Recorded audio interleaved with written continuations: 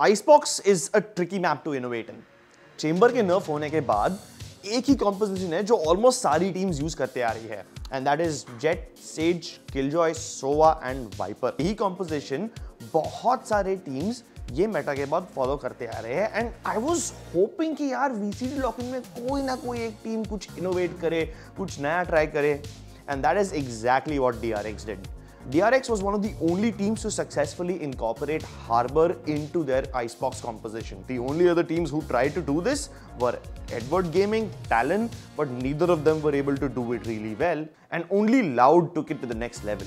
But we'll discuss that later. This is going to be the, the game that gets reviewed by all the analysts. It's going to be all over Reddit looking at all these new setups, the way DRX are approaching. This is the DRX that enamored the audience. The Harbor is amazing when combined with Viper.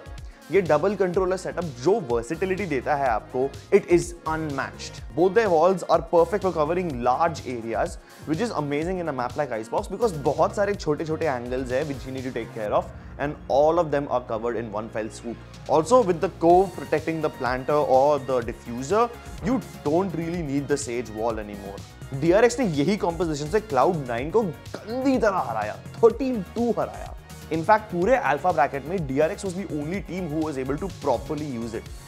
Let's take a look at how they did it. Cloud9 ने जो composition use किया वो वही पुराना composition था जो लोग काफ़ी टाइम से use करते हुए आ रहे हैं So let's see how DRX punishes this.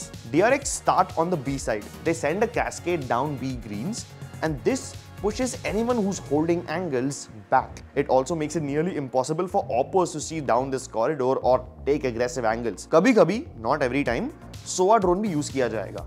Buzz uses the cloudburst to jump on top of yellow and even a recon dart might be used if they suspect someone's hiding behind it. Then they use another cascade to cover the snowman area and cross over towards yellow. DRX use the cover of this cascade to come close and cover distance. एक बार ये area clear हो जाए, उसके बाद वो अपनी Viper toxin screen activate करके plant करने जाएँगे। कोव यूज़ करके उसके अंदर प्लांट किया जाएगा। लेकिन देखो ये प्लांट का लोकेशन किधर है? एकदम ओपन में है। Not the usual spot close to the corner in some rounds they did plant closer to the corner but that was only when they were sure कि no Killjoy utility is present nor any agents could send any damaging utility through to deny the plant in this way DRX Cloud9 को fight करने के लिए space ही नहीं दे रही थी। DRX love to cover the distance without actually having to fight. Defenders का vision block करने के लिए वो लोग cascade आगे भेजेंगे and then उसके ही पीछे पीछे आते रहेंगे जितना एरिया cascade ने कवर किया उतने का कंट्रोल ले लेंगे and then they regroup and go together again after using harbor utility to cover their path further. If not that, वो कभी कभी contact play बनाने की भी कोशिश कर सकते हैं A side पे भी यही main concept है They all move together down A main. पहले pipes control लेंगे then they use a recon dart and even a cascade if necessary to clear out that much area. एक बार वो हो गया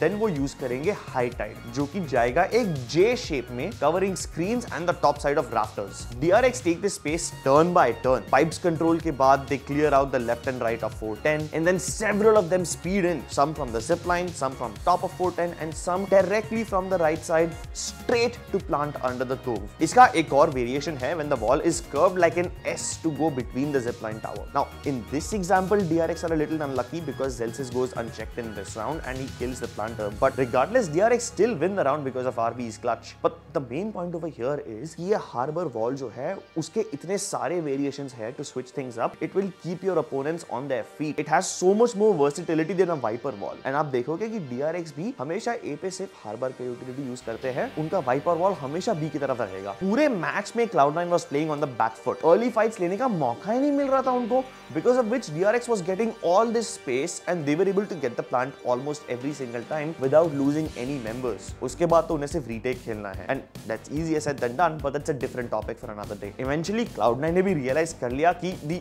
only way to counter this is to take more space as defenders and after that realization ये also started to make some aggro moves. इसके बावजूद कभी कभी ये को early picks मिल जाते थे लेकिन वो Cloud9 को rounds necessarily जिता नहीं पाता था. The problem was ये kills लेके space तो create कर देगा but then kill लेने के बाद वो वापस fall back कर जाता है which leaves that space empty for DRX to take. A devastating loss like this literally caused Cloud9 to reconsider their roster. उन लोग को ये को हटाना पड़ा roster से. That's how bad DRX beat them. DRX on the other hand unleashed Harbor once again in their game against Talon, but Talon mirrored their composition. I can't remember if it was, I think it was Mako, it might have been Buzz. I think it was Mako though, that said, over on DRX. We love it when people try to steal our comms. He was thanking everyone for trying to steal their comms, right? Because this guy said that they know exactly how to counter their comms. Talon ने काफी दिक्कत खड़ी की DRX के लिए. They disrespected the harbor utility of DRX and tried to fight aggressively. DRX के harbor utility के आगे आके fights ले रही है Talon. That too by having three or four members speaking together. In this way, Talon at least ensured trading. This meant that DRX actually started losing members before they got to a site and had to go through a tough tough time in the game Cloud Nine उन्हें इस तरह से कभी challenge नहीं कर पाई। However even for talent most of the game plan relied around killing the DRX planter फिर चाहे वो यूटिलिटी फेंक के हो या फिर को के अंदर घुस के प्लांटर को मारने का हो। As long as DRX the plant down their chances of winning was still high. Another thing is when Talon fought aggressively and won some rounds. इसके बावजूद Talon को ये नहीं मालूम था कि कभी fall back करना है या फिर कभी अपना over aggression cut करना है. And because of this, they sometimes ended up losing the advantage which they worked so hard to acquire. In the alpha bracket, DRX basically declared itself as the king of Icebox, at least on the attacking side.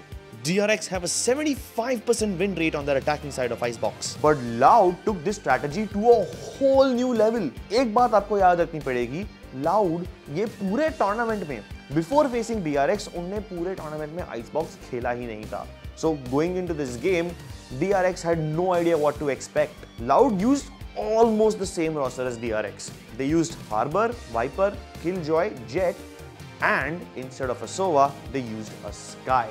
And उनके sky के flashes उन्हें बहुत help किए। Example लेते हैं round three का। Loud का bonus round है which mean DRX have better guns अब डीआरएक्स अपने हाई टाइड का यूज़ करके ए पे एग्रेसिवली खेल रही है। लाउड आराम से 30 सेकंड्स पहले डिफ़ॉल्ट करते हैं। Aspas and Cauanzin towards belt and A entrance तभी टूइज अपना पहला कैस्केट यूज़ करता है बी ग्रीन्स पे। थोड़ा आगे जाते हैं and then they use the high tide to cross towards yellow and place a turret above in case कोई डिफेंडर पुश करे तो। By this time Aspas and Cauanzin rotate करके बी आ रहे हैं। Meanwhile Less poison cloud use करके tube sneak in कर चुका है लेस की टॉक्सिन स्क्रीन एक्टिवेटेड है लाउड प्लांट करने के एरिया पे जाते हैं but unlike most teams instead of planting they take the fight to DRX with the ultimate reckoning and all their flashes early man advantage आ गया Less भी tube चढ़ के एक लव किल ले लेता है प्लांट डीप किया है and as soon as the plant is done it all cools down Loud back of post plant positions खेलने के लिए तैयार है and then they use this high tide once again just to delay DRX from coming in अब ये high Tide के काफ़ी सारे पर्पसेस है If you use it while you're attacking, you basically use it to block off Snowman and Hall so you can just go and safely plant. But in this case, Loud are using it to delay the DRX retake. Kawanzine clutches and the round is secure, but this round is just a ruse. Yehi round say,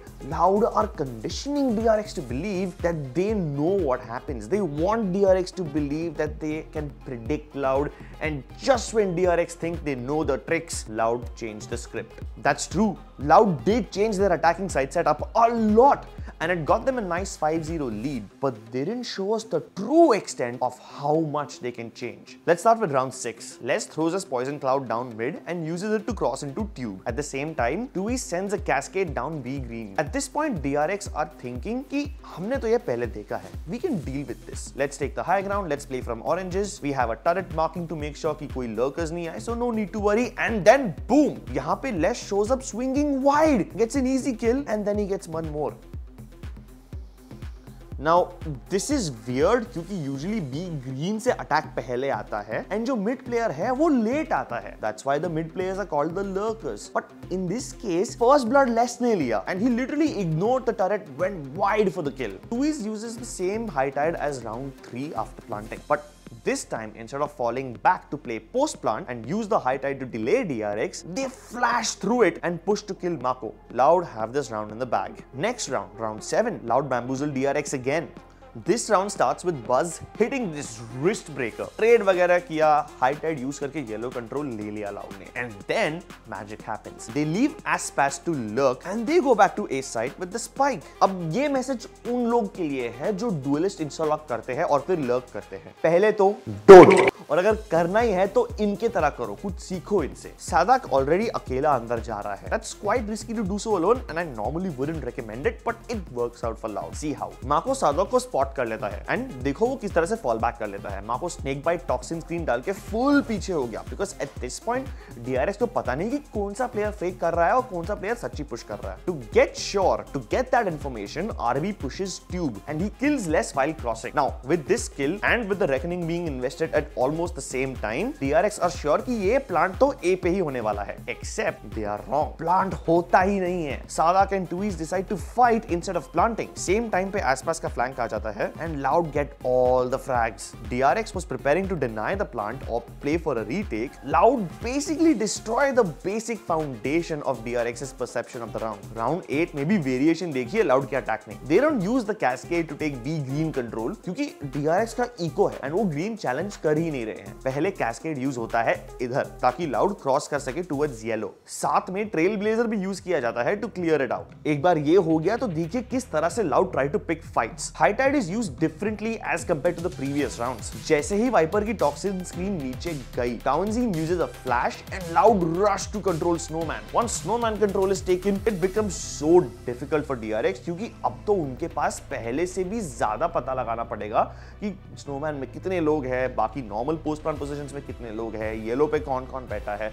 ये information find out करना बहुत difficult होता है। DRX ने काफ़ी innovation दिखाकर harbour ice box पे implement किया but Loud showed us how far you can push the limits of this Harbor Skye combination I hope आप लोग भी ये वीडियो देख के कुछ सीखे होंगे जो आप अपने गेम्स में यूज़ कर सकते हो हम डिफेंस ये वीडियो में कवर नहीं करेंगे बिकॉज़ वो एक अलग लंबा टॉपिक है but we leave you with a teaser Loud ने इतना strong attacking side दिखाया on Icebox and they seem nearly invincible.